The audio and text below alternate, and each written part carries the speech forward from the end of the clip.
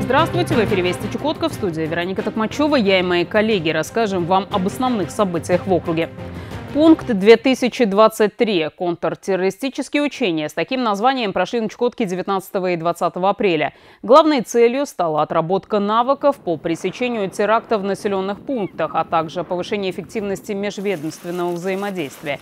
Тренировка проходила в поселке Угольной Копи, где, по легенде, трое неизвестных при задержании оказали сопротивление сотрудникам правоохранительных органов и забаррикадировались в квартире одного из жилых домов по улице Школьная, при этом взяв в заложники жильцов.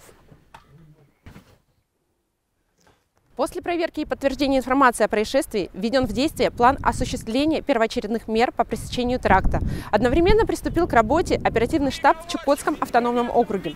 В ходе проведения учебной контртеррористической операции в режиме реального времени отработаны мероприятия по блокированию, оцеплению, введению переговорного процесса, установлению сообщников из числа заложников и эвакуированных жильцов дома. Спланировано и реализовано боевое мероприятие по нейтрализации условно-диверсионной группы.